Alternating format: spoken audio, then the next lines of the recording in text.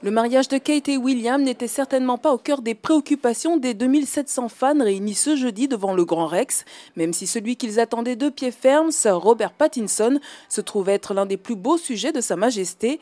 Et bien que sous bonne garde, la star révélée par Twilight ne les a pas déçus, à Paris pour promouvoir de l'eau pour les éléphants, le nouveau film dont il partage l'affiche avec Reese Witherspoon et Christophe Waltz, l'acteur s'est volontiers plié à quelques dédicaces et pose photos. C'est génial que les gens s'intéressent autant à ce que je fais. C'est même complètement fou. Je dois dire que je m'y suis un peu habitué, à dire vrai. Cette folie, c'est génial car ça va au-delà de Twilight. Ça concerne d'autres films, pour le moment en tout cas.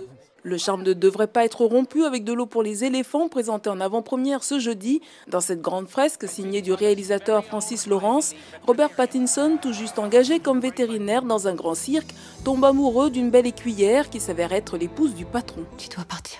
Si jamais quelqu'un la touchait, je n'ose même pas y penser. Tu es belle, Marlène. Tu aurais mérité d'avoir une belle vie.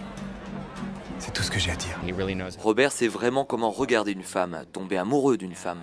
De son côté, Reese est très forte, sexy, intelligente, drôle et très romantique, quoique d'une autre façon. Je savais qu'ils iraient très bien ensemble.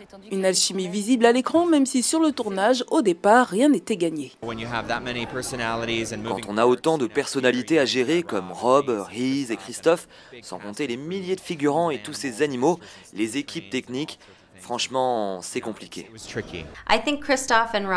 En réalité, Christophe, Robert et moi, on a très vite compris que la vraie star du film, c'était elle, l'éléphante. On a tous essayé de se rapprocher d'elle. Désormais, nos trois têtes d'affiche ne se quittent plus. Après Paris, l'équipe de l'eau pour les éléphants fera escale à Madrid et à Londres. Le film sortira en salle le 4 mai prochain.